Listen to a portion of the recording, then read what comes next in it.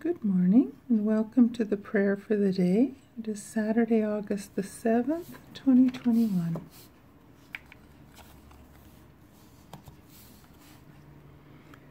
Be merciful to me, God. Be merciful to me because I come to you for protection. Let me hide under the shadow of your wings until the trouble has passed. Psalm 57 1.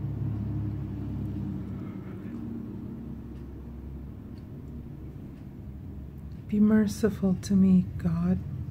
Be merciful to me because I come to you for protection.